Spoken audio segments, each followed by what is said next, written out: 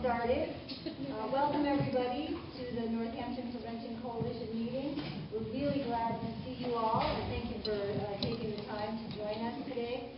Uh, Some of you may know me, uh, some of you may not. I'm Gail Gramarossa, and I'm actually here, working very closely with Marisa and with Karen and with other folks here. I work for a group called the Collaborative for Educational Services. We have a number of programs, including the Spiffy Coalition that you might have heard of. It's a countywide coalition. And we also have a new branch of our services um, that is involved with doing some consulting, community health solutions. We're, uh, I would say, we're a pretty integrated partner with the Northampton Prevention Coalition in a lot of different ways. So we like to work very closely together. We're going to do introductions in just a few moments, uh, but I just want to do a few housekeeping things. Um, hopefully everybody can see where you're sitting. We were trying to figure out how to, how to set up the chairs, and there's of chairs there.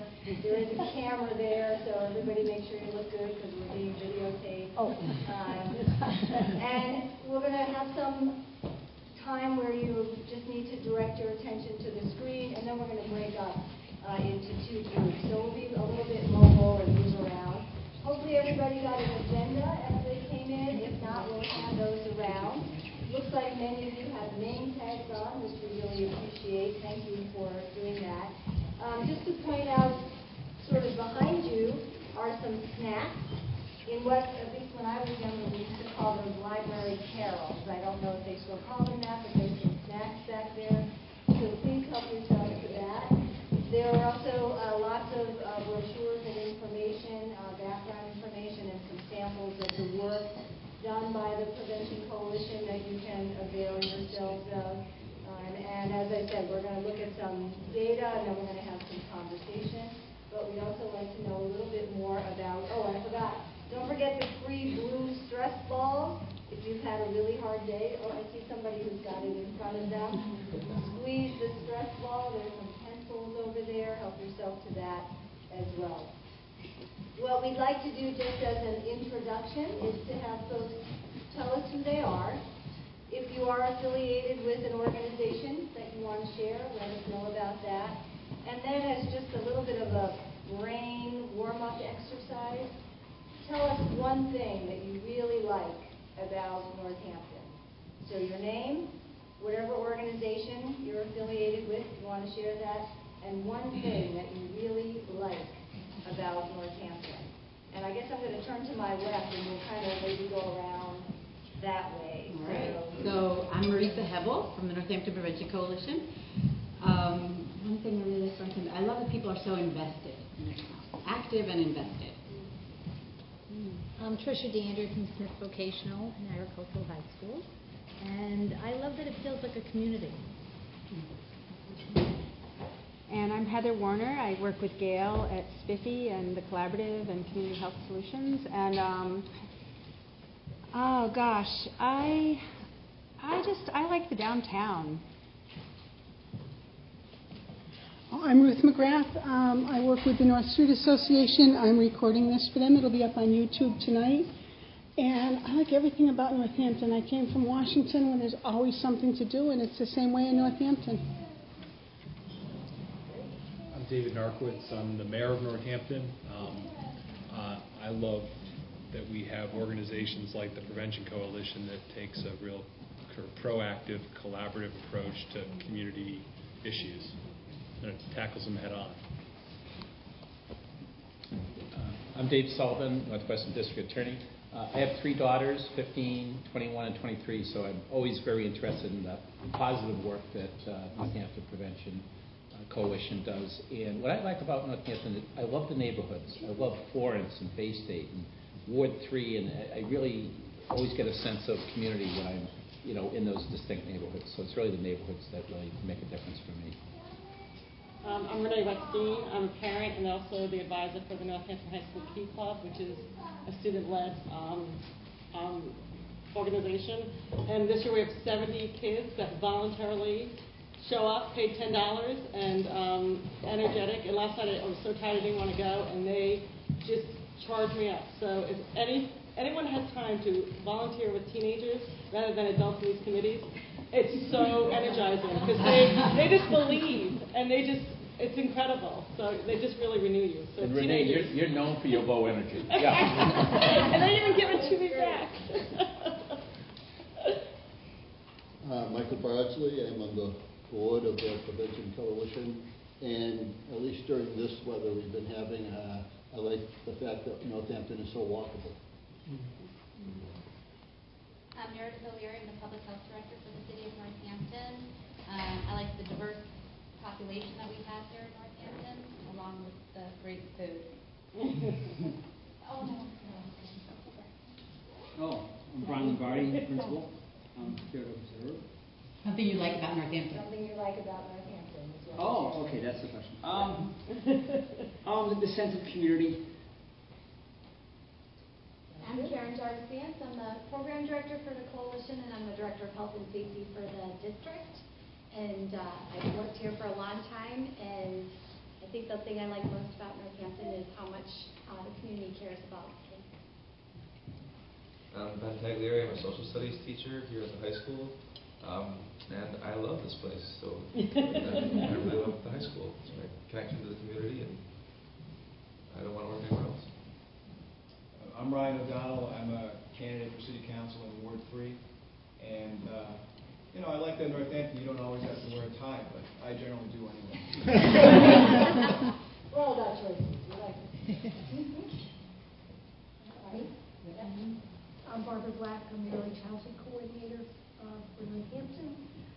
And, um, what do I like? A lot of things. Um, Well, my most current like is the new sidewalks in my neighborhood. But in general, I actually mostly like having lived here a long time, worked with lots of families, and now, and sort of getting the full circle of knowing parents and kids. My name is Rebecca. I'm here with Hampshire Health, and I really like the downtown walkability of Northampton. I'm Lori John from Hampshire Health, a nonprofit, um, and I love that it's family friendly, and I love that I could take, really love that I could take my two girls to the farmers market, the Tuesday market, um, after school. Uh, my name is Jared. Uh, I'm here with these two as well, and also representing uh, Protect Donuts First, a nonprofit uh, based in Providence. This is my first time here, uh, but I really like uh, Main Street. It's uh, very walkable and beautiful. I'm Chris Brennan, I'm one of the associate principals here. I love the students at Northampton High School. I'm Celeste Malvezzi, I'm the other associate principal in the high school, um, and I really like the diversity of the community. I'm Barbara Newlinger. I'm a parent of a new student here, and um, I like the dog park. I'm Lennox. I'm with the Northampton Prevention Coalition as their youth engagement coordinator. And right now, my favorite thing about Northampton is the fact that Leeds Elementary now offers Late Bird on half-day parent-teacher conference weeks. So I'm able to go to these meetings. Aaron, do you want to start back there? Yeah, Oh, hi, I'm Aaron. I'm a community member. Um, and I guess what I like about Northampton is, I guess, it's walkability. Love local orders, your place. I'm Paula Rusty, and I'm a new student in Northampton High, and uh, this is, this is the high school. I have a, a daughter who just moved to um, JFK, so it's two hundred degrees. And um, what I like best about Northampton, I guess that it's rated so highly by the state, and it was very nationally, uh, how well we're doing here, and um, it's been pretty impressive. Um, hi, uh, my name is Sarah Andrews, and, um, I work for the Collaborative Educational Solutions and an initiative known as Healthy Hampshire, not to be confused with Health Hampshire. We work on, um, increasing access to physical activity and healthy food in Northampton, Amherst, Williamsburg, and Belchertown. And I love Northampton because there's always lots of fun things for kids to do. And Miles is here, and he's a Red Sox fan, so.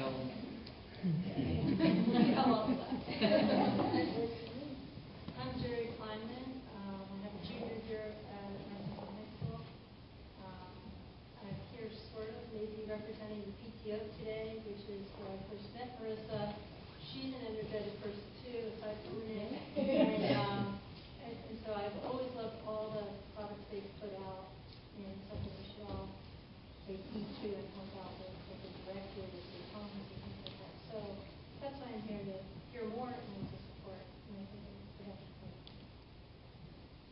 I'm Diane Fedorchak Amherst, the Board of Health Commission, and I'm on the SPIFFy Steering Committee. Um, one of my favorite things about Northampton is the summer night where I could play softball, dinner at the local burger, and follow it up with Harold. So I couldn't decide. I gotta let you know that. Great, so I think we got everybody And over two, here. two quick invites, and then we'll get Jim. Jim. What did you do? Use Jim. Hi, I'm Jim Ayers. I'm the Executive Director of the United Way for Hampshire County, and um, our work is about working together to create positive change, and in Northampton, people get the value of working together to create positive change, so it's a, a great community for us to do work in. I'm Trish Armstrong. I'm a wellness teacher here at the high school, and like Ben, I love this high school. I love my principal. I hope it's okay to say that. Um, love the Northampton Prevention Coalition, but what I really love about this community is it's a great place to raise a family. Feel really privileged about that. Hi, my name is Renee. I'm a substitute school nurse for Northampton, and also I have a son that's a sophomore here.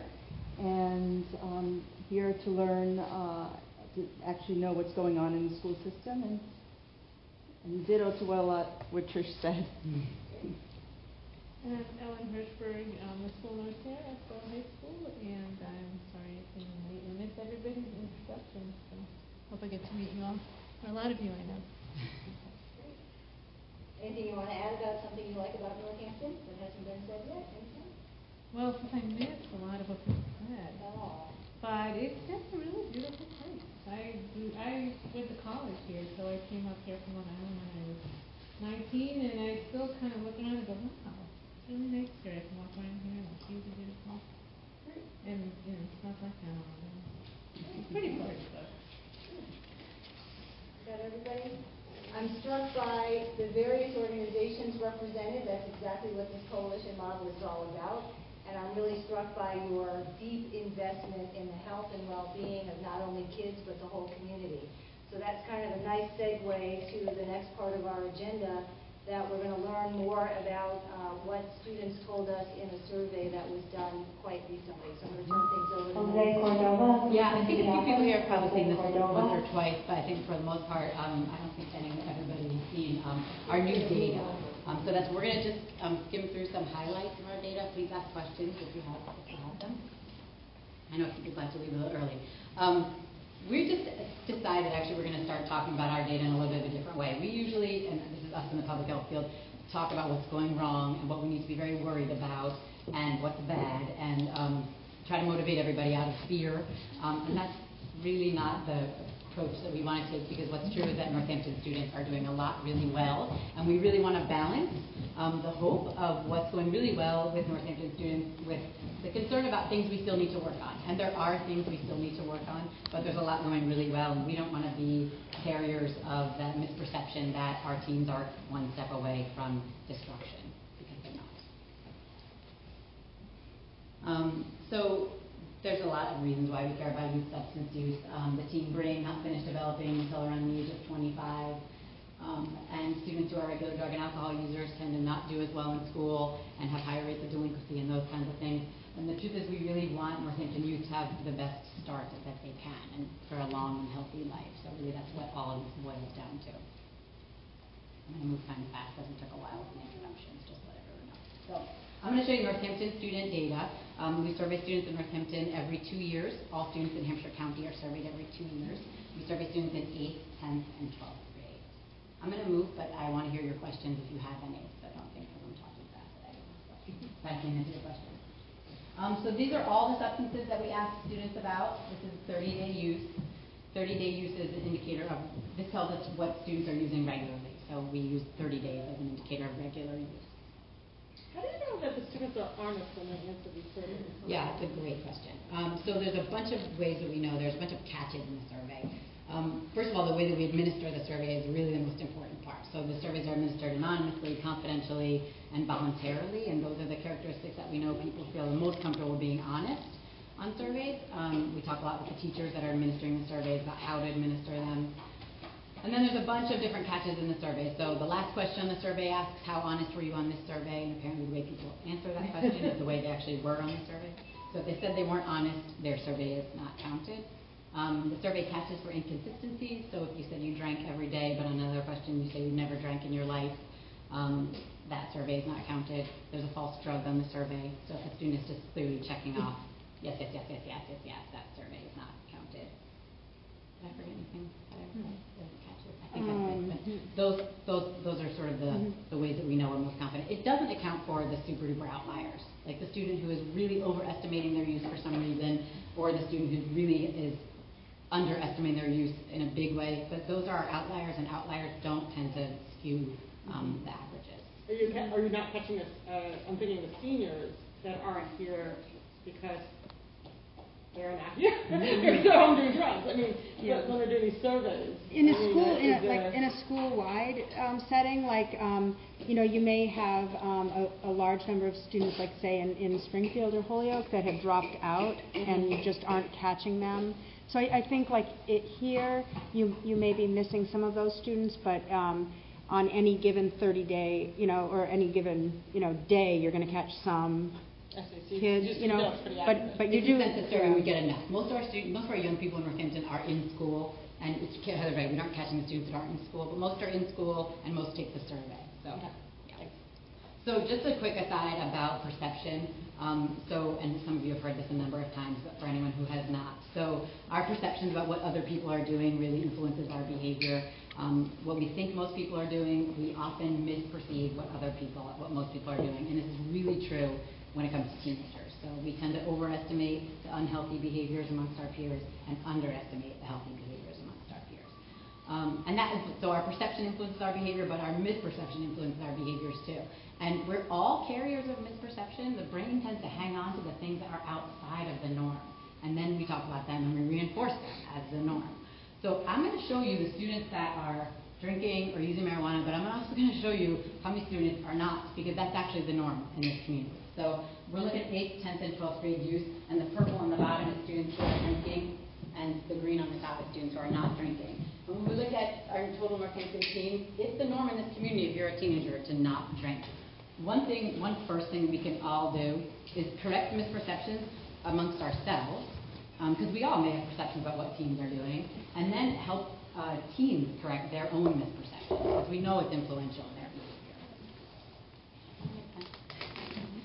So we also know that most teens in Northampton are not binge drinking. So binge drinking for a woman having four or more drinks at one time, a man having five or more, because that's where we start to see negative consequences related to drinking.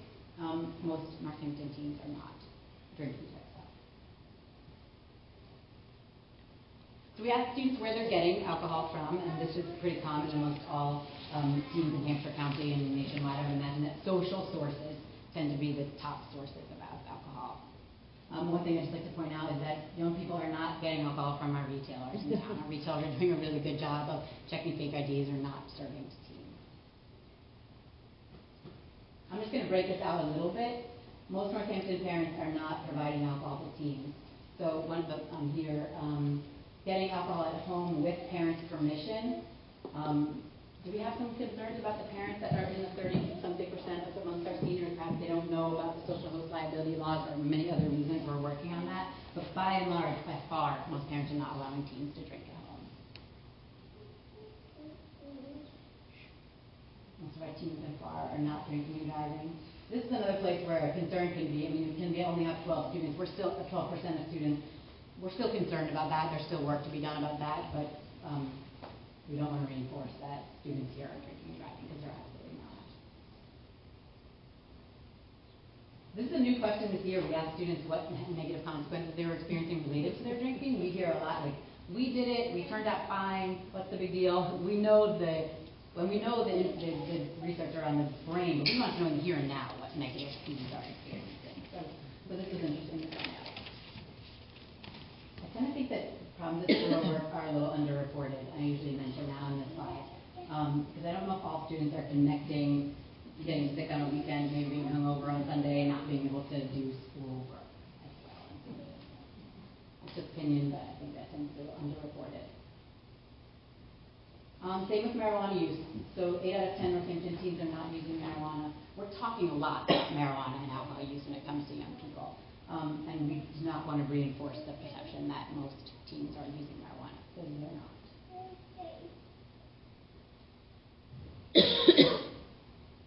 We ask students where they're getting marijuana. Also, social sources are the, the source. This is also a new question, um, what negative consequences students are experiencing related to their marijuana use. This one for sure, I would say doing poorly on a test or schoolwork is underreported, only because the top four users here, amongst the top four, I'd say three of them feeling motivated, remembering things and procrastinating can impact schoolwork. So there I'd say, um, I think I'll also doing poorly on, oh yeah, please, just jump in. Can you go back to the last slide? I think it was the third part down, focus on the school property. Mhm. Um, depending, like, between, I actually think, I have to find out, but I think that's pretty consistent across Hampshire County, um, that students are figuring out who's, who may have marijuana. Um. Driving after using marijuana, um, interesting enough, more of our students, our seniors are driving after using marijuana than driving after using alcohol. Um, and I think that relates to the perception of harm related to marijuana use, is, tends to be going down, particularly amongst our seniors. Um, one of our other priorities, so our priority substances, um, in the coalition are alcohol, marijuana, and prescription drugs. Um, and by far, our teens in Northampton are not using prescriptions without, um, without a prescription. We've seen a small uptick amongst our seniors, um, in using, um, ADHD medications to study, um, just amongst our seniors, and that's a trend that's also concurrently going on in college. Um, but that said, even though there has been a slight uptick, still nine out of ten seniors are not using stimulant medication to study. Um, so it's still by far not the norm to be doing that, but we're paying attention. These rates are very low. They're seeing increases across the state and across the country with related to prescription drug use. So we're happy that these are low, but we're paying attention. Um, we want to make sure that those don't increase the way we're seeing increases. I don't have anything to add, just jump in. Um, so I'm just putting, thought this is interesting to note too. We're trying to look at um, cigarette use and how it may be related with our other substances. Uh, these are trends that we're seeing. So we've got 12th graders in the orange bar, the purple bar, uh, 10th graders and 8th graders at the bottom. We're seeing some nice decreases um, amongst our 8th and 10th graders, and we're still working with our 12th graders. This is actually telling us that we need to perhaps be doing more, oopsie, sorry, more um, uh, age-specific prevention with parents particularly. Prevention looks different when your child is 12 than when your child is 18. Same with binge eating, nice decreases with our 8th 10th grade. Marijuana use, we've actually expected to be a little bit all over the map, um, given just the changes that are taking place in, um, in Massachusetts. So in fall of 2008, we criminalization passed, and we expected to see a little bit of uptick. We surveyed in spring of 2009. We didn't see that same uptick with marijuana as medicine. Uh, we did with our sophomores, but not our seniors or our eighth grade, um, which is great.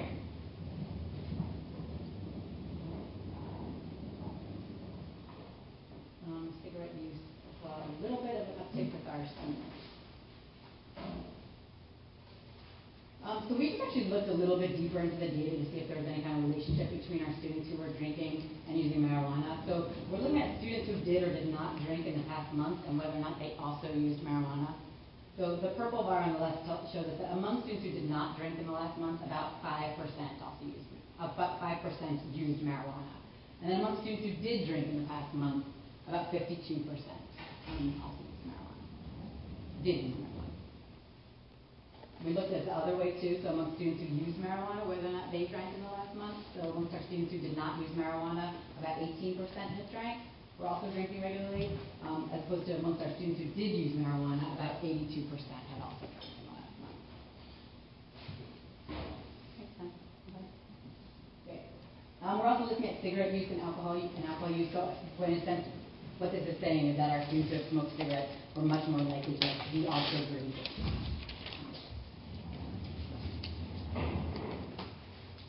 The same thing was true with marijuana use. So our students who are not smoking are much less likely, smoking cigarettes are much less likely to be also using marijuana. Uh, another way that we dig into our data a little bit is seeing if students said that their parents think it's wrong for them to drink, were they more or less likely to drink? Um, because one of the things, one of our um, approaches is really directing our, helping parents, supporting parents in using all those behaviors that we know are protective for kids. So um, amongst our parents who, amongst our kids who said their parents think it's wrong for them to drink, um, they are much less likely to drink than if they said their parents don't think it's wrong. Right?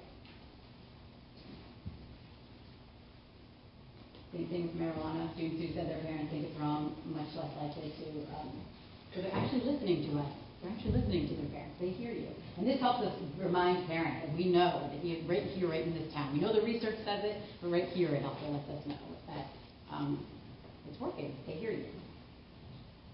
Knowing where your teen is also when they're not at home seems to be related to um, an increased risk of um, drinking as well as um, marijuana use.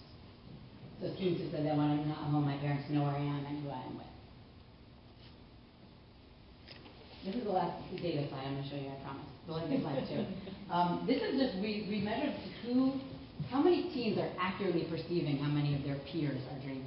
So the green, is a little bit different than the other slide. So the green on the top is, those are the students of, of Horsch in each grade and total who are accurately estimating how many of their peers are drinking or underestimating. So these students have it right, or they think less students are drinking than actually are. But these students are overestimating. So these students think that more of their peers are drinking than actually are. These students think it's more the norm in this in this community to drink. And most Northampton teens are overestimating. This is really common. This is why Castle from our campaign. Um, this is really common um, that that students overestimate. But this is influential on behavior, and it's good for us to know. Particularly with our sophomores. Most of our sophomores think it's the norm if you're a teenager to be drinking when we know it's actually not the same is true with marijuana use, and actually even more so with marijuana use. And this is one of those reasons why it's really important for us to be correcting those misperceptions. Um, particularly, so 80% of our sophomores think that it's more the norm in this community to be a smoker, to, uh, to use marijuana if you're a teenager than actually are using. Is that, is that computing with everyone? Okay.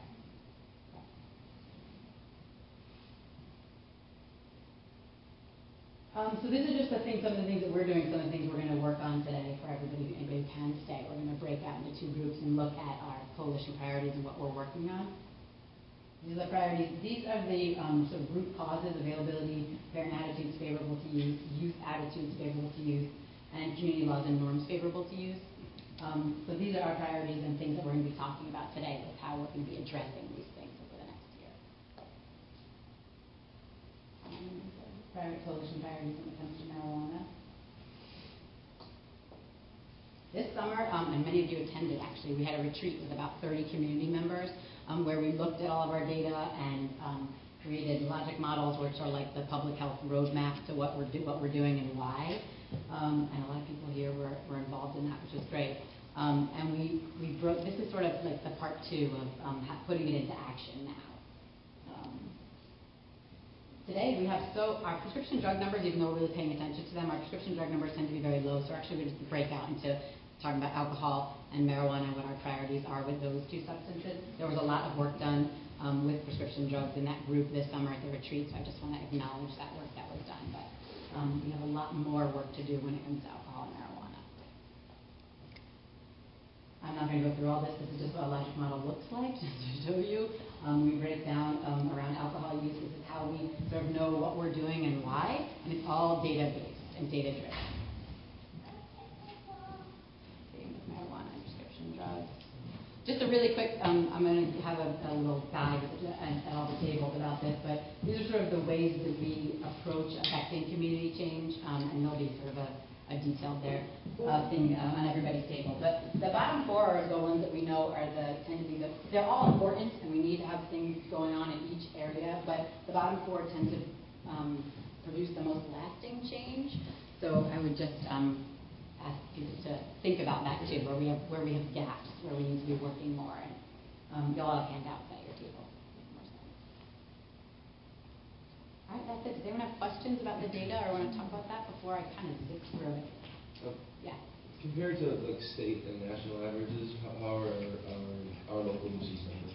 Um, so youth, we tend to, Massachusetts tends to be higher as a state, and Hampshire County tends to be higher as, um, as a county across the state, and then Northampton tends to be slightly higher than that. Is that right, Karen? I have the actual data, So so, we're like the top of the a little bit. We tend to be a little bit higher than the county, um, on, on some things, not everything, um, a little bit. And when I say a little bit, I, I can get you, I have a, a district profile that can show you all of the, uh, county averages. Oh, Marisa, I just wanted to point out though that also in Northampton, um, like some of the protective factors are also higher. Right. So you, there's some, there's some good positive influences happening as well. Right. But it's straight up in terms of use, we tend to be a little bit higher than the county average, but, um, there's a lot that we're also like better than the county average on positive things that are going on here too. Is that, so is the trajectory of these numbers been downward since, like, say, the late nineties, or it seemed like they're relatively low, from the ones I remember seeing? Yeah, in this community, they've been on a downward trend. Karen can speak more to the trends from since you started. They've been, um, they were pretty stable through the late nineties and the early two thousands. Um, since we got the drug-free communities grant, they've started to definitely decrease. Since we've been really targeting interventions at, at these issues, they've been starting to go down. But over a long, long period of time, we really haven't changed a whole lot. But I think also there's communities where, where staying flat or going down a little is better than some communities which are heading up. Yeah. So just to acknowledge that flat can sometimes indicate. Be success. Good word, Yeah. yeah. Did you have a question? Oh, I guess my question is, I don't know if it can really be answered, or just, I didn't see any data around, um, um, use being influenced by peer group or use, um, We have so much more data than I do. Okay, occasional versus, um, habitual, like occasional use versus regular use and. No. So we use 30 day as the indicator of regular use. So, so anything I was showing you for the most part was 30 day use. So that was regular use. regular use? So at least once in the previous 30 days. That's sort of the just public health once, okay. standard, once or more. That's sort of the public health Once a standard month, of our once or more a month. Once or more, Is previous 30 days. Is considered regular. That's the standard of regular use, yeah. But there also are questions about how How- how big heavily, it is. how many times have you done that behavior within the last 30 days as well? Yeah. So you can break it down more. We have lots more data than this is like the tip of the iceberg. I want to just ask a different question. I know you're mostly talking about drugs here, Mhm. but is it under your purview, in the Clinton Prevention Coalition, to talk about family guidance? Who's, who's doing that, other than people teaching them how to drive? Um, So our, so we're funded to look at substance use, but we also know that substance use does not happen in a vacuum. So positive and risky things that are going on amongst Northampton youth, we're interested in all of them. Um, how much resources we can devote to testing and driving. We actually do have a teen group that's starting um, here, and I know that teens are really interested in texting and driving. So um, I can certainly see it becoming a project of the Northampton youth group. that a little bit. We're in at Wolf Smith Vocational and Northampton High School. I'm starting this team advocacy group called CAD, and I've been having the students identify the top issues that they think are facing in Northampton. And distracted driving has been one of them. Um, internet etiquette has been a big one. Self-image, um, mental health, bullying. I mean, there's a whole bunch of things. And so part of our purview is to like increase the protective practice. So we increase all those negative things that are affecting them. Then they're left like with youth. You know, so it's all kind of circular. And the, the DA just left, but he just had his underage drinking conference, and we brought students from Northampton and Smith Vocational, and Northampton Prevention Coalition is a sponsor of that conference, and one of the breakouts was specifically focused on distracted driving. It was, it was really great. It's good, I mean, to start them on their Mhm. drivers and to get corrected. Yeah. Mhm. It's frightening as to looking at everybody Mm. driving. Yeah. Right, and, and the adults are, you know, Exactly. yeah, I think we, So we model just stuff. like with alcohol, right? We have Yeah. set the right line. Yeah. So, do we have more questions? What we're thinking we'll do is um, break into two groups. Hopefully not everyone's going to the marijuana group. Hopefully there'll be some alcohol people, people in the alcohol group. Um, and we're going to just look at, um, I know there's probably a lot of people here to talk about marijuana, but um, Gail, I don't know what you think about location. Um, maybe the alcohol group can meet over there. Um, and uh, people are interested in talking about marijuana and um, things around that can stay in this, this area. Um, Yeah, and if you were just here for the data portion because you're a teacher and you have to go, thank you very much for being here. Why? So the printout, do you have, has everybody have one of these? Do I have enough for everyone? The printout, we're, so we're looking at like what we, um, broke down based on our data this summer at our retreat. Um, and what the purpose of today really is to look at sort of our priority local conditions and talk about, um, what we're doing, what we want to do at each one. So, um, so we're looking at sort of our, what the problem is, what the root causes are, and then what the local conditions are. This is really to help students for. Yes, may have been a hazardous promotional there. Um, so each page on this little handout that you have is related to one of our local conditions, one of our priority local conditions. Um, so may I just give people a few minutes to sort of go over this document? I know a couple of people have seen it before, but a couple of people have not. Um, so we're just looking, maybe just to take a quick, review, and hopefully we can just have a conversation about what strategies we think the coalition should take on in this coming year. So in bold. Oh, yes. sir. I'm pretty, okay, I was gonna say, I'm pretty tired. I don't want to drop the ball again. Actually, it wasn't me. I threw the ball in Karen who dropped the ball. She couldn't handle it. Actually, yeah, you catch the ball. Right. You did a nice job at in front of um, friends and watched it on the TV. Oh, did you see it? nice job. Big, big.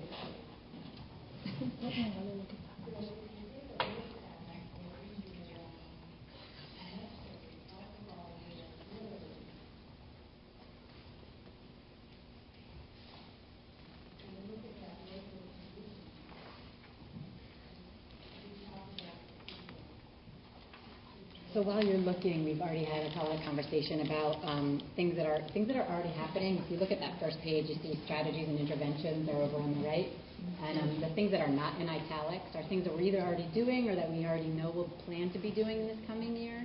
Um, so like if you look at one of these sort of breakdowns, we've got like what we're actually doing. This is like what the problem is, why is it a problem, and then the local condition is why is it a problem here. And then the, all the way on the right is are the strategies and interventions that we plan to use or that have been proposed. Uh, and sort of what we want to get down to is just look at everything and then um, um, have a discussion about what people think the coalition's priorities should be in terms of what we should do in the coming year. So. I know lots of things have been proposed, doesn't mean we're actually taking on every single one.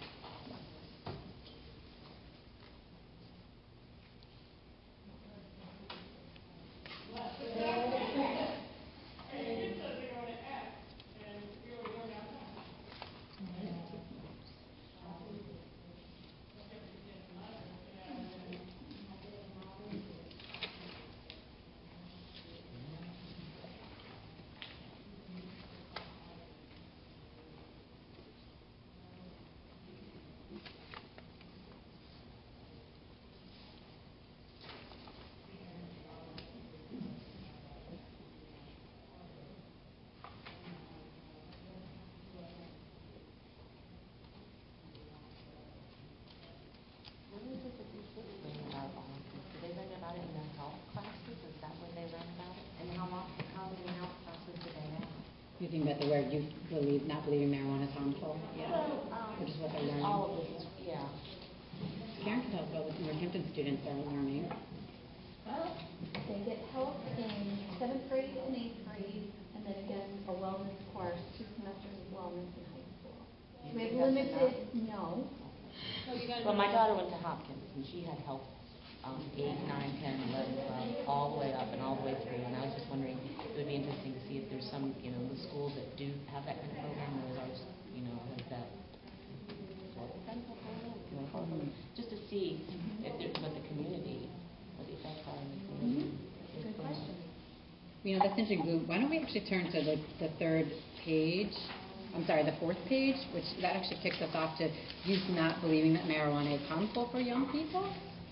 Um, the, some of the things that we're already doing are, um, so all of our ninth grade students are getting a brief intervention by our nurse who happens to be here, by one of our nurses who happens to be here. Um, uh, so those students are having a conversation about um, marijuana use. And then we have, that's one thing, I'm sorry, substance use in general. Um, and then we have the health classes in seventh and eighth grade. Um, Still, are we're seeing our rates of perception of harm related to marijuana use is going down. So that might be somewhere we can start talking about how we want to help students know that mar- youth marijuana use is not um, positive or beneficial. Well, I would look at first when you distinguish the difference between the, the growing in the youth brain versus the adult brain, and I think that, that kids don't see that as different. If, if an adult can do it and it's fine for an adult, not even getting into the medical marijuana, but just the whole perception, then why can't a kid do it? And the fact that there are different ramifications. And that's a very interesting point because um, when we did the screening, which I'll explain real quickly for those that may not be aware, um, this year we implemented a new program, which is really the first, probably the first of its kind in a high school in the country, where Seriously, that's a big deal. Job. it's pretty cool. It's a huge So what we do is when we typically screen kids for vision and hearing and scoliosis and all that other stuff, um, we're at, we're administering a screen about their substance use. Um, and it's just a very brief, brief questionnaire that asks them a few questions about their use.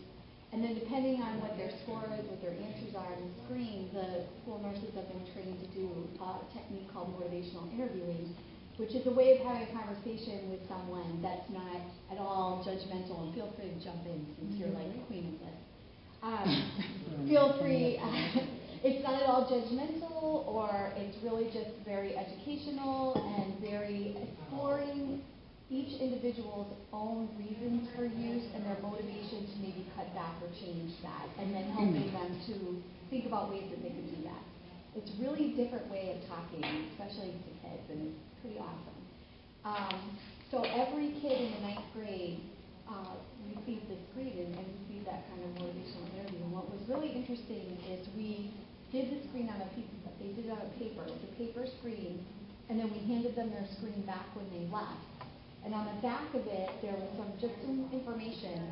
One of the pieces of information was about the brain and the effect of substance use in general on the brain. It actually had a graphic, like a PET scan of the brain of a user and a non-user. We did, uh, we got feedback from the students after the screening was over. We surveyed all the students in the ninth grade to ask them about their perceptions of the screening itself. And one of the questions we asked, which was an open response, was, did you learn anything new? And by and large, the answer that I got back the most was, I learned about the brain, or something about the brain. Mm. The effect, I didn't know about the effect it had on the brain. And at the DA's conference we were just at last week too, by and large, that was the feedback that they got from kids too. The, the opening speaker was all about, she was a researcher from Harvard, um, a neurologist, a neurobiologist or some neuro, blah. And, but her thing is she studies the, the adolescent brain and substance use. And by and large, the feedback from that, from the kids, was they were, they're fascinated with their, with their brain Mm. and what goes on in there and how this can affect it. Mm. So I think that's a really good way to, to So talk. to focusing on the brain. Yep. I think when we focus group students last spring, and one thing we heard a lot of was that right now when it comes to marijuana, all they're hearing is that it's medicine. And they're hearing that, um, especially in light of a dispensary opening downtown and reinforcing that it's medicine, they're not getting the same balance that we don't want young people to use. They're not hearing anything about the brain. I don't, I don't think. I don't know. I'm just curious what people think about that. Yeah, I think there's a balance because something that I work on um, is also overdose prevention. And, you know, of course, this is, you know, an epidemic in the Northeast right now. It's killing a lot of young people. But we have to strike a balance between saying it's highly abusive, it's highly addictive, and fatal. Um, It meaning? meaning opiates. You know, Oh, mhm. so I'm, I'm using opiates as an analogy because we, we this is a standard medicine that we use, um, and yet we don't want to make it to the point where someone who does really need opiates can't have opiates, right? So it's, it's the same thing we're dealing with education about, uh, you know, how to handle prescription drugs, how do you store your prescription medications, how do you dispose of them, all that. Um, so I, I think we kind of need to revitalize how we think of this education because there are these people who really need it for medicine, but how do we convey them that, that idea that you can't just self-medicate without, you know, talking to a physician? Because that's something that I work on with, uh, with prescription painkillers and seeing if maybe a model like that could be adopted for marijuana, for medical marijuana, to draw a clear line that says, you know, we're a community that cares about these people, people who are going through, you know, palliative care, end of life care, but that doesn't mean that anyone who hasn't consulted their physician can just use medicine or take medication. Yeah, so I think right now that's the loud voice. We haven't, it's- young people are telling us they're not hearing about the harms related to youth use. Also, thank you for the work that you do in that area. Um, One thing that uh, just gets me is also working with our doctors, because it's really easy in this community to get opiates and narcotics, really easy, Um, too easy. Um, So I think we need to do some more work there too, around, around that, because it's just way too. That's a good point, guys, I hadn't really thought about it. Part of our prescription drug um, logic model and the interventions that we plan to do around that is hopefully some physician, more education for parents about storage and monitoring of prescription medication, which we've been doing, but do better work with that. But also, we have talked about doing some physician education, and I hadn't thought about that that could also correlate with marijuana recommendations. Yep. Yeah, 'cause there- it's like any condition under the sun, you can qualify for a marijuana license, you know, and so, and the same thing, I mean, some providers are tighter than others, but I would love to be part of helping Yeah, I think provide physician that. education is We could pop in on some of the meetings they have throughout the year, just to give little, But seniors aren't even going to I know, but classes. parents are. Some, sometimes, But, but some I'm of that saying, how do you parent engage the kids, and how do you get kids to, once kids start drinking or get involved, it's fun, I mean, we were all young, I assume we all had a drink or smoked or did something, so it, so once they, they cross over that, that's what I'm saying, like in eighth grade, you still, you still got them. But in tenth or, you know, when they get older and they do have a beer or they do, you know, smoke, it's, it's fun. That's obviously, that's, mm-hmm. adults do it, right? Mm-hmm. So how do you engage where they can have fun without alcohol? And I would love to have a school dance. Like, it seems like that's a culture not in this high school, other than the prom. So it's about supervisor and all that stuff. But that, the latest in health education, and Heather, correct me if I'm wrong, it's all about harm reduction, but it. What- what are we doing? Harm reduction, you do that more when you're freshman in college, you talk about dosing, uh, appropriate dosing, how to drink water in between, but that would not be something I would be comfortable No, I say, no, no, no, no, what I'm saying is, why can't we have a dance here where there's no alcohol, like, where they can have fun without it? Like, I just feel like there's not a link anymore, like, these kids go to parties, like, everyone's drinking, everyone has a beer, everyone, you know, or they're playing video games, you know, where they're not engaged. So, like, can there be a social event where it's dry, and they have fun? Mm-hmm. Like, it seems like. Gotta remind To remind them, like, yeah, oh, it could be fun. Mm-hmm. You know, it just seems like we can Yeah, still catch no, them, that- but, that but we don't have that. just came up the other day, how we, you know, people our age miss that culture for our kids in the high school. Like, they used to be mm-hmm. once a month or mm-hmm. every other week, but. Right, we don't have that at all. You know, they look at me like, no, no one's gonna go if you can't drink. I'm like, really? Like, and I'm trying to get into maybe the key club, but sometimes, I don't know how much money they have, but kids love food. I mean, if there's like free mm-hmm. pizza, like Yeah, yeah. Friday night So pizza, you know, and maybe it could be kind of slow, it's just free pizza and a. DJ or something, and you- enough we have parents to parents? supervise. Well, Well, you're we're- saying to we're- do something on a regular basis. We've sort of Would talked be more, nice. we've talked about parents and kids, and Okay. absolutely kids, and in fact, even, you know, just to think about, one of the things we heard about in the focus groups that were done, um, was some of what happens before particular events and during particular events Mhm. at, particularly sporting events at the high school. particular. Basketball, the kids told us, in, you know, before Yeah. and at halftime basketball, whatever, it's kind of an, un, you know, culture for alcohol to be Mhm. involved. So one of the strategies to, for the coalition to be thinking about is looking at, you know, ways to curb that as well as, you know, ways to provide some kind of alternative. So there's something else going on at halftime and not, you know, tempted to do the alcohol and to maybe more address even that sort of pre-game kind of thing. Um, I just want to get back to the parents for, you know, maybe just a quick second and think about, again, from a community-wide perspective, in addition to the education, alternative activities, things to be thinking about that we've made note about. What about these policy, potential policy changes that might be in a more sort of law enforcement context? What, what's your thought about things like teen party ordinances that some communities have? Um, There are places where the police and the schools communicate Monday morning about what happened over the weekend in terms of what the police would see in that kind of context, unsupervised parties. um, Looking at, you know, whether or not the certain groups of students like, you know, involving the athletics department to be sure that all of those policies are being followed, where the kids who are engaged in sports are not supposed to be, it's a violation of the statewide. So I guess what's your, because that's a little bit different from the education and from Well, I think that last year, Heather, um, the meeting that you ran in Easthampton, the town hall meeting, and there was somebody there from the um, DA's office talking about the social host laws. I think that was really brilliant because a lot of parents have heard about these laws. You know, they know they exist, but they actually had copies of the laws out for people to grab. And there were so many parents there. There were a lot of questions asked, and there was you know, education going on. Like it was, you know, seemed like a big aha moment for a lot of parents. Like, wow, you know, this could happen to me. Yeah. yeah. So I, I would love to see some sort of campaign like that in this community where we're hosting some sort of event where we're educating parents about what those laws are and what they mean and how it, you know, And how- include some case studies of the accountability.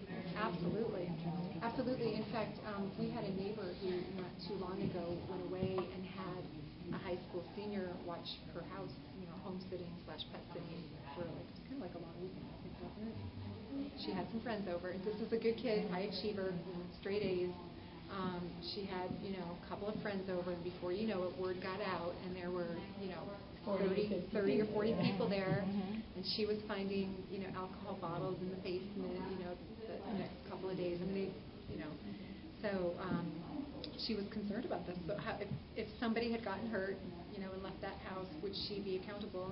And, and the answer is yes, I think she would be, um, because it's her house and blah, blah, blah.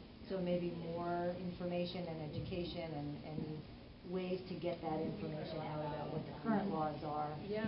Along with potentially looking at whether or not there might be some additional policies that the community might want to, to take a look at. I think, I always think too that sometimes as parents, not all parents come to events in schools, but like when you hear a school leader say, you know, you are still the most influential person in your child, it's a reminder, I think, to people of how much actual influence they have. And I even think of it with pediatricians when your kid goes for the annual. And so, again, how do you remind healthcare providers, you know, this is an important message, you know, to be giving, and again, by teenagers, many kids go by themselves at that point to go to physicians. Just to kick But- you out of the room. Right, but to kind of keep it on people's radar that, you know, that this is, you still have a lot of influence. Because I do think people actually say, okay, I've taught my child good decision making, know how to set goals and reach them.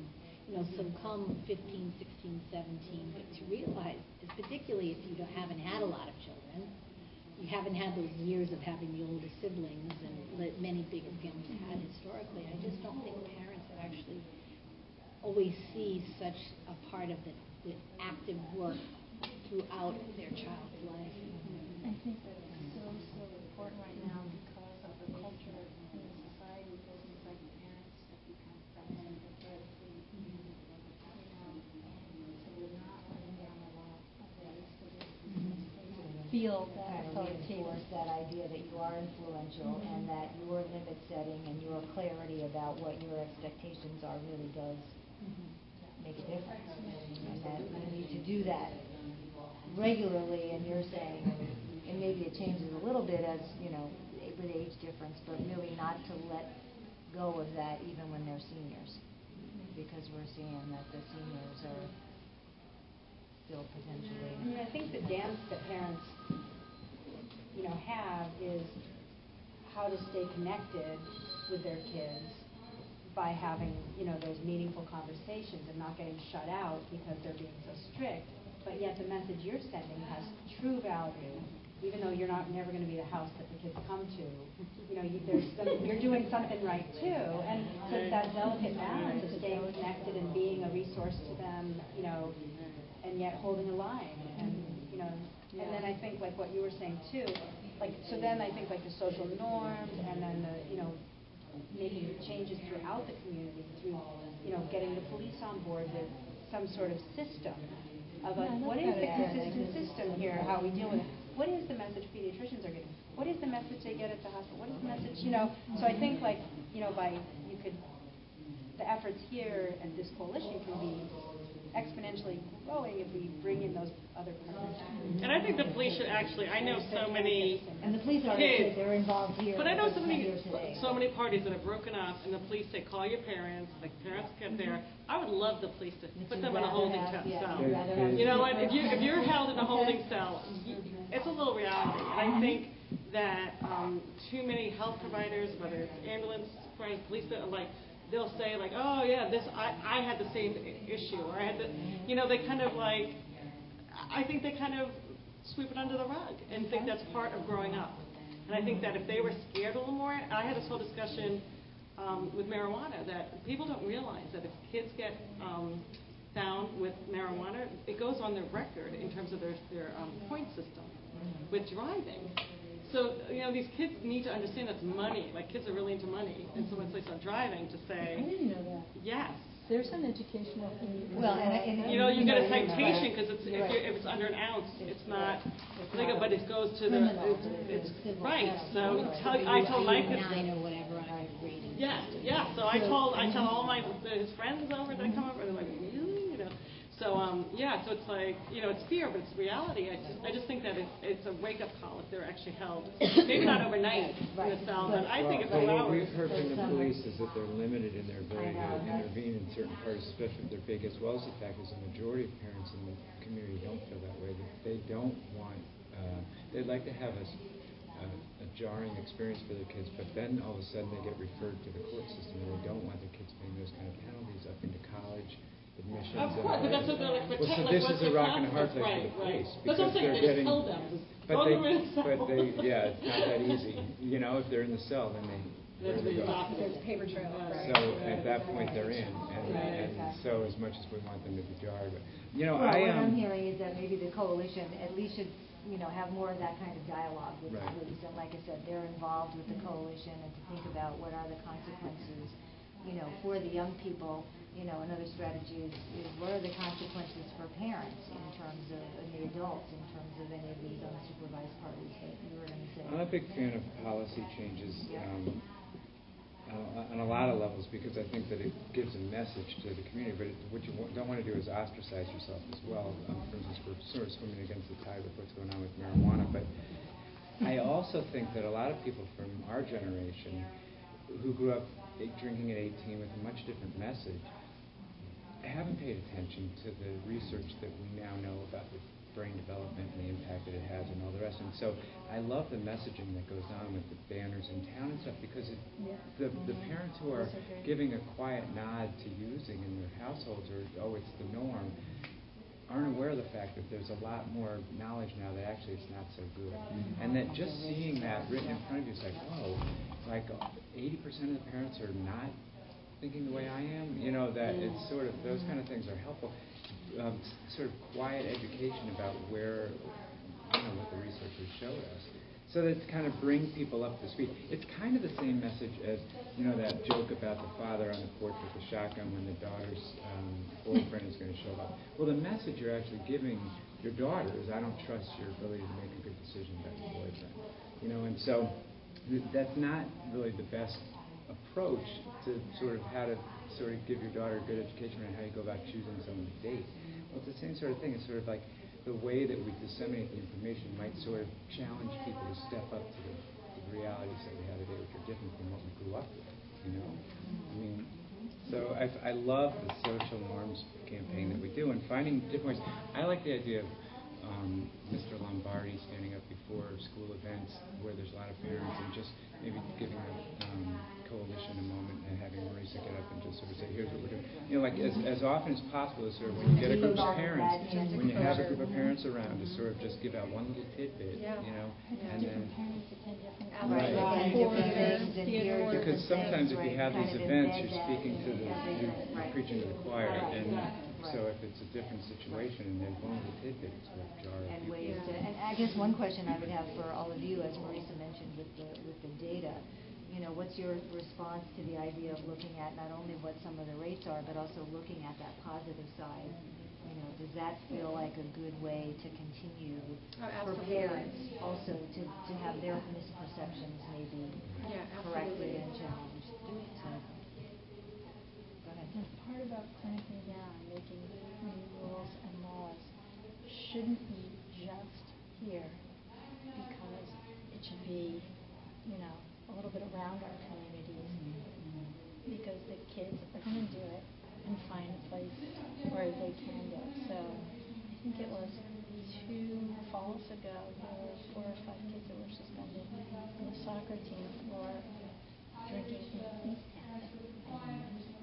But they were not gonna be found out or something. Mm-hmm. Somehow That they they got to found a out. neighboring community. Well, one piece yeah. of good news is that Easthampton and South Hadley were just funded to have their own drug-free communities. So they will have the same funding that this coalition has, and they will be setting up strategic plans and starting this whole process there.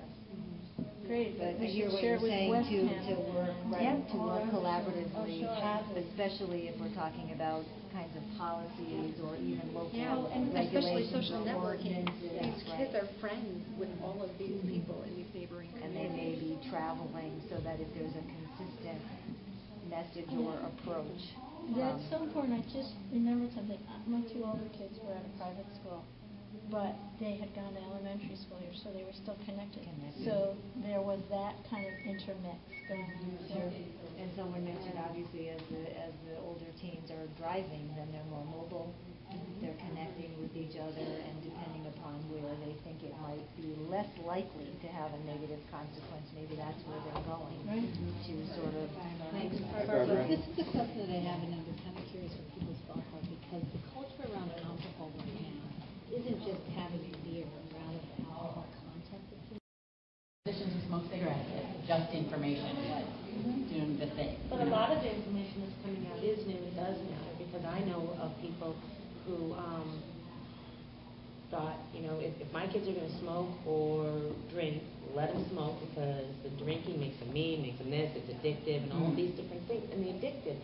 As, and they're very surprised, there's, um, uh, what figure at some point, if you did drugs at a certain age, you become addicted to it. You're more likely to You're more develop likely to develop an addiction, that's a physiological. That was a, um, a surprise to some of the parents that I've talked to, and the fact that the teenage brain is affected by drugs. I don't know why logically it, they didn't seem to get it, but that was a surprise too, that it was, that, you know, it's not the same adult brain getting high and kid brain getting high, but it's different. And I think that, that knowledge really does matter, because I have seen firsthand how it's mattered with, um, people that I've known, you know, with kids and. You think that education They, they didn't care if the kids smoked pot, they didn't care. I mean, as long as you don't over this, it's not a gateway drug, blah, blah, blah, blah, blah, all of these things, as opposed to the fact that it does harm your brain. And, and, you know, I didn't know that. Yeah. I didn't know there was a difference between me and my kid's brain and that, you know, for the effects. But Talking about the community level, um, Tell a lot of the stuff that you're doing with the retailers and the bars and the restaurant owners, I think needs to keep happening, and that could work to limit the availability on that end. Um, the work with the dispensaries is gonna be really important, the work with the, with providers and people who are writing scripts are gonna be important on the community level. Um, so I think like that, that work, the policy enforcement really needs to be looked at. Um, I mean, the law was just written so crappy. Um, But the law wasn't written good, you know, and the law really was written so it's one step away from legalization. I know part of it's like, if you want to legalize, just write the law that way, you know, so it's, it's coming in in this, in this just backwards way that, that is messed up. So anyway, policy enforcement, how do you do it in the school? Um, and then how do we do it in our communities? And then what are the intervention steps that we're doing? You know, having expert in the school is, is really groundbreaking. and That's really huge, because you have to acknowledge that students are actually using in order to have those conversations. So many schools have been afraid to do that on the, on the secondary level, some occasions. So, What would you like to see in the dispensary in terms of, because I was, I'm actually talking to people about doing infographics to educate, you know, USA Today style, but easy to digest, as a starter, but you know, that we're trying to reach out to community members to really understand how can we work together to, to make sure we have a good safety net for this community. Mm-hmm. You know, and you know, what would you like to see from say a dispensary? Mm-hmm. With a, you know, I would like to see a resource officer on staff for the city, mm-hmm. full time, to help educate our students, our you know the parents of the students, mm-hmm. community members as a whole. Why do you think or, I'm just Something blanking it, yeah, educator, Something- something, like that. Here, Yeah. you know, we need to talk. And that's exactly, I mean, my, my push would be, we need, uh, health education, pre-K through twelfth grade. We absolutely need that. And, and there are curriculums, we use the All-Stars curriculum in the middle school, which have a parent component. So there are things that parents need to have conversation with their children about as part of the curriculum. And I, I'm just, I feel like that is super important. And I'll go back to when my position was created in 1978, it was because of a huge uptick in teen pregnancies. And there was this big public outcry because there was no sex education in the schools. And this position was created to bring that about.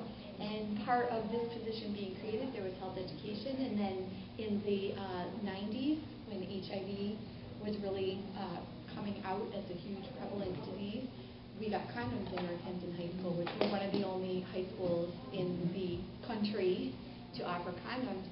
Um, that was another public health measure, though, that came out of the whole, we need to educate our kids, we need to protect our kids. So I just want to put that out there to, uh, Right, right, that schools may not. pre-K through But I agree. 12 health education is absolutely crucial in this changing.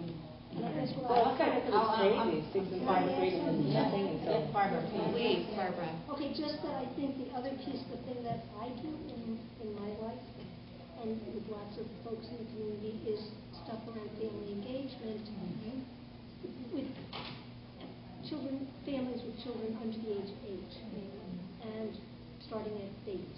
And, and I think it's all related, and so it is something, and Karen and I have talked about this, we really need to, you know, have it be an integrated approach, and it's not, I mean, you know, I, the focus of this group is around health issues, The focus of the council that I have is around child development issues, but it's all related. And so we have to figure out how to make, you know, without, without only doing one or the other or the other or the other, Yeah. we have to figure out ways to continue to work together and make it all fit. I would agree with you, Barbara. Anyway, that's. Yeah. Um, just, and also just thinking about, um, you were talking about what maybe perhaps the dispensaries could be doing around this, around this issue. And I, I'm shooting from the hip a little bit, but I'd love to see, um, people getting, um, information about the consequences for diverting their marijuana, particularly diverting, for diverting marijuana to young people. Um, I'm not sure exactly how we're gonna enforce that consistently, what the penalties are gonna be for diverting marijuana to young people. Um, I'd love to see people getting information with the marijuana around, um, what the, uh, the, the science around the teen brain and marijuana use, only because I, I, I mean, we have some parents who are allowing their kids to drink. I don't know if that means we have some parents who are gonna, also gonna allow their young people to use their marijuana as medicine. I'm, I'm not sure exactly how it's all gonna play out, but, um, but I'd love some kind of policy around what education to the, the, the, the patients, uh, that come in.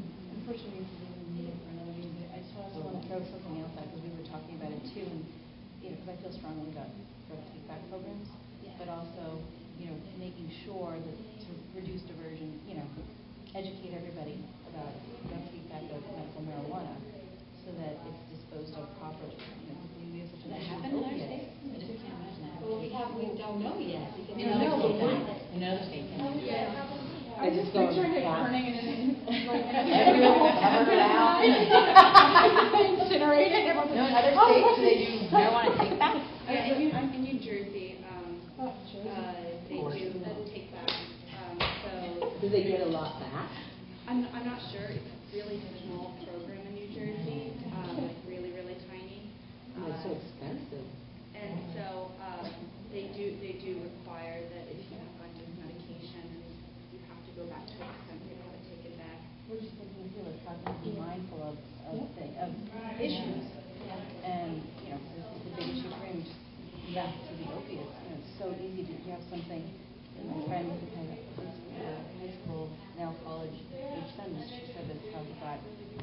medication. She had dental surgery and then leftover yeah. and got a hold of it. You know, these are things to be mindful of. And treating again, you know, treating medical marijuana like prescription medication. Yeah, even, even extending the same conversations we do. Um, we, we teach parents about like lock boxes, like how to safely store your medication. I'm sorry, Hampshire Health does opiate. No, no, no, no. no. Um, I'm, I'm the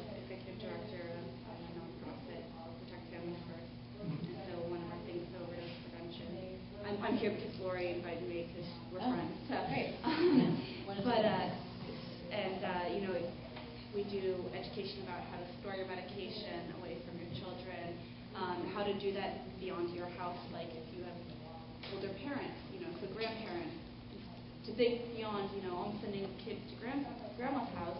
You know, grandma also has medication that you as a parent want to make sure is stored properly.